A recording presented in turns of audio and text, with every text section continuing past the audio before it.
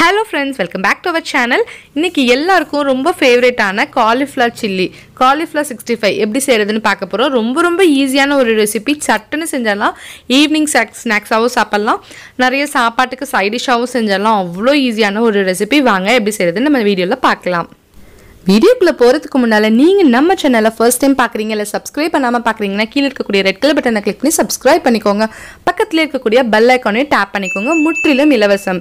So மறக்காமல் subscribe பண்ணிவிட்டு பாருங்கள் வாங்க வீடியோக்குள்ளே போகலாம். ஒரு பேனில் தண்ணி சேர்த்துக்கோங்க. பாதி அளவுக்கு தண்ணி சேர்த்துக்கோங்க.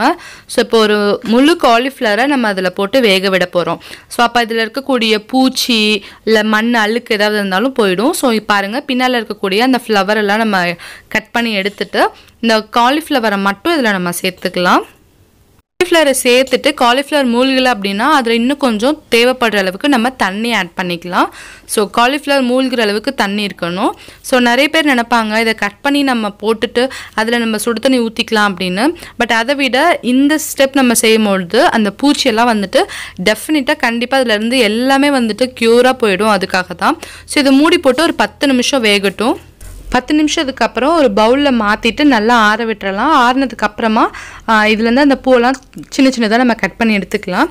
ஸோ இது ஆறுனதுக்கு அப்புறமா அதுவாகவே வந்துட்டு நம்ம லைட்டாக கட் பண்ணும் போதே தனித்தனியாக கலண்டு வந்துடும் ஸோ நம்ம ரொம்ப ஸ்ட்ரெயின் பண்ணணும் அவசியம் இல்லை கத்தி யூஸ் பண்ணணும்னு அவசியம் இல்லை பாருங்கள் இந்த மாதிரி அழகாக அதுவாகவே வந்துடும் இதே மாதிரி எல்லாத்தையும் இந்த மாதிரி உதிரி உதிரியாக எடுத்து வச்சுக்கலாம். பாருங்கள் எல்லாமே குட்டி குட்டியாக எடுத்து வச்சுருக்கேன். சாப் பண்ணிக்கலாம் இதே மாதிரி. ஸோ பண்ணிவிட்டு இப்போ ஒரு க்ளீன் பவுலில் இன்க்ரீடியன்ஸ் ஆட் பண்ணிடலாம். ரெண்டு டேபிள் ஸ்பூன் அளவுக்கு மைதா மாவை ஆட் பண்ணிக்கிறேன். மூணு டேபிள் ஸ்பூன் அளவுக்கு பச்சரிசி மாவு ஆட் பண்ணிக்கலாம். இது நம்மளோட காலிஃப்ளவரை நல்லா கிறிஸ்பியாக வச்சுக்கிறதுக்கு ஹெல்ப்ஃபுல்லாக இருக்கும். இது கூட மூணு டேபிள் ஸ்பூன் அளவுக்கு கார்ன்ஃப்ளவர் மாவு ஆட் பண்ணிக்கலாம். நல்ல கோட்டிங் நல்லா கிடைக்கும் நமக்கு ப்ளஸ் கிறிஸ்பியாகவும் இருக்கும். இது கூட ஒரு டேபிள் ஸ்பூன் அளவுக்கு Kashmiri chilli red chilli powder add பண்ணிக்கிறேன். இது இல்லைன்னா நார்மல் சில்லி பவுடர் ஒரு ஹாஃப் டீஸ்பூன் ஆட் பண்ணிக்கோங்க. கூட ஒரு ஸ்பூன் அளவுக்கு கரம் மசாலா ஒரு ஸ்பூன் அளவுக்கு சால்ட்டாக தேவையான அளவு ஆட் பண்ணிவிட்டு ஒரு டேபிள் ஸ்பூன் அளவுக்கு லெமன் ஜூஸ் ஆட் பண்ணிக்கலாம். ஸோ ஆட் பண்ணிவிட்டு இதை நல்லா வந்துட்டு ஃபஸ்ட்டு மிக்ஸ் பண்ணிக்கலாம். ஸோ இது கூட கொஞ்சம் கொஞ்சமாக வந்துட்டு தண்ணி கலந்து மிக்ஸ் பண்ணிக்கோங்க. ஸோ ஒரு திக்கான ஒரு பேட்டர் கிடைக்கணும். அப்போ தான் நமக்கு காலிஃப்ளவர் வந்துட்டு மாவோட நல்லா ஒட்டி பிடிக்கும். அந்த மாதிரி நல்லா ரெடி பண்ணிக்கோங்க. இந்த மாதிரி ரெடி பண்ணதுக்கு அப்புறமா இதில் ஒரு ஹாஃப் ஸ்பூன் அளவுக்கு இஞ்சி பூண்டு பேஸ்ட் நம்ம ஆட் பண்ணணும். கடைசியாக சேர்த்தா தான் ஃப்ளேவர் நல்லா இருக்கும் நமக்கு. அதனால் எல்லாம் மிக்ஸ் பண்ணிவிட்டு கடைசியாக வந்துட்டு இஞ்சி பூண்டு விழுது சேர்த்துட்டு நல்லா இந்த மாதிரி கலந்து விட்டுக்கோங்க. நல்லா மிக்ஸ் பண்ணதுக்கப்புறமா கொஞ்சமாக கருவேப்பிலையும் கொஞ்சமாக கொத்தமல்லி தலையும் குட்டி குட்டியாக சாப் பண்ணிவிட்டு அதில் நம்ம ஆட் பண்ணிக்கலாம். ஸோ இப்போ நம்ம எடுத்து வச்சுருக்கக்கூடிய காலிஃப்ளவரை இதில் ஆட் பண்ணி நல்லா கோட் பண்ணிக்கோங்க.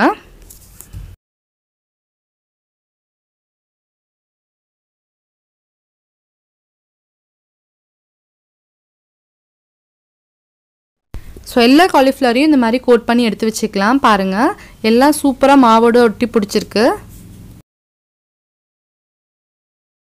இப்போ இது எல்லாத்தையும் எண்ணெயில் போட்டு பொறிச்சு எடுத்துடலாம். ஸோ எண்ணெய் நல்லா சூடானதுக்கப்புறமா அதை செக் பண்ணுறதுக்கு கொஞ்சமாக மாவை இது மாதிரி ஸ்ப்ளிட் பண்ணி பாருங்கள் அதில் இந்த மாதிரி நல்லா போட்ட உடனே மேலே எம்பி வந்துச்சுன்னா கரெக்டான ஸ்டேஜ் ஸோ அதில் நம்ம எடுத்து வச்சுருக்கக்கூடிய காலிஃப்ளவரை போட்டுடலாம். காலிஃப்ளவர் ஒரு பக்கம் நல்லா செவந்து வந்ததுக்கு அப்புறமா மறுபக்கமும் போட்டு ஒரு டூ மினிட்ஸ் நல்லா வந்துட்டு கோல்டன் ப்ரௌன் ஆனதுக்கப்புறம் எடுத்துடலாம் இந்த மாதிரி. ஸோ பாருங்கள் எல்லாமே சூப்பராக பொரிஞ்சிருக்கு. இப்போ இது நம்ம எடுத்து சர்வ் பண்ண ஆரம்பிச்சிடலாம். ஸோ அவ்வளோதான் நம்மளோட சூப்பரான சுவையான cauliflower chilli cauliflower sixty five ready ஆகிடுச்சு இதுக்கு மேலே வந்துட்டு நான் ஒயிட் பெப்பர் போட்டிருக்கேன். உங்களுக்கு எந்த பெப்பர் வேணாலும் போட்டுக்கலாம் போடாமையும் இருக்கலாம். ஸோ சூப்பராக நம்மளோட காலிஃப்ளவர் சிக்ஸ்டி ஃபைவ் ரெடி ஆகிடுச்சு இது வந்துட்டு நீங்கள் சைடிஷாகவே யூஸ் பண்ணிக்கலாம்.